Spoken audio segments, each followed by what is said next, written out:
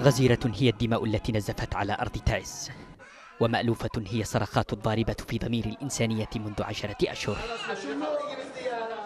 لا تتوقف المشافي المتبقية في المدينة عن استقبال القتلى والجرحى ولا يمر يوم دون ضحايا من المدنيين أو المقاتلين في جبهات الحرب.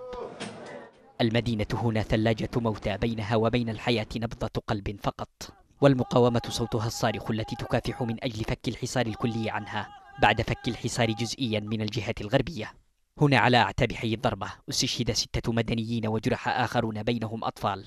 وهو الحي الذي شهد أكثر من مذبحة نتيجة قصف الميليشيا المكثف على الأحياء السكنية. يكافح الأطباء من أجل إسعاف الحالات الطارئة وتأجيل حياة الكثيرين من الضحايا لكنهم يفتقرون للوازم الطبية الكفيلة بما في ذلك الأكسجين. يحاول المواطنون العودة إلى ديارهم في المناطق المحررة بالمدينة لكن مشكلة الألغام التي خلفتها الميليشيا ما تزال عائقا أمام استتباب الوضع والأمان الشخصي للناس. يحضر القلق من انفجار لغم أرضي أو قذيفة في أي وقت وفي أي مكان بنسب متفاوتة. لكنه يصير جانبا من يوميات القاطنين في هذه المدينة.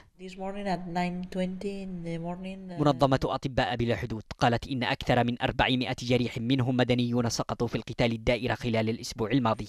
وقال رئيس بعثة أطباء بلا حدود إن المرضى الذين يأتون إلى غرف الطوارئ يعانون بشكل أساسي من إصابات ناجمة عن الغارات الجوية والانفجارات والعيارات النارية والقناصة ومؤخرا من الألغام الأرضية.